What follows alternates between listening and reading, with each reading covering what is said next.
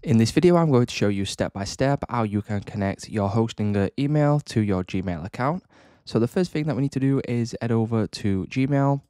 And then once we open it up right here, you need to go to the top right hand corner, click on the settings icon. And then from here, you want to click on see all settings. Now what we need to do is we need to go to the top bar here, scroll over, click on accounts and import. And then you need to go down now and click on add another email address. Now, once you do this, you will then get this pop-up menu. And then as you can see, what we can now do is we can name this. So for example, I will put in my name.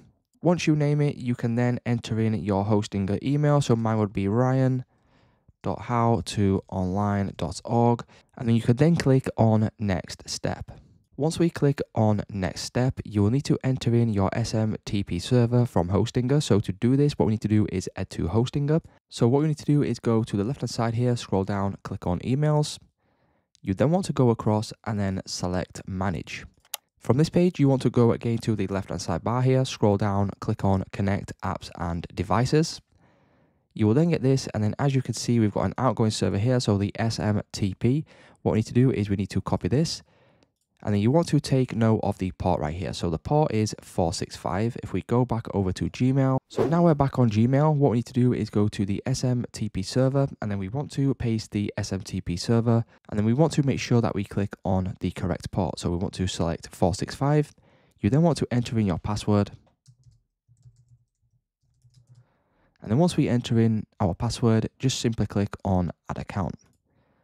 Now, as you can see, it will now check your credentials. You can save this if you want. So congratulations, we have successfully located your other server and verified your credentials. Just one more step. An email with a confirmation link has been sent to the email.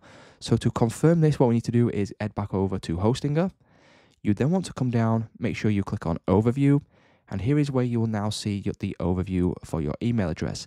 You want to go down to the bottom left here, see where it says your email just under mailboxes. You want to click on this arrow to launch Hostinger webmail.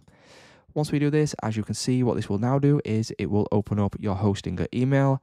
We need to click on the email from Gmail and then we want to click on this link here to confirm that we want to connect this email to our Gmail account.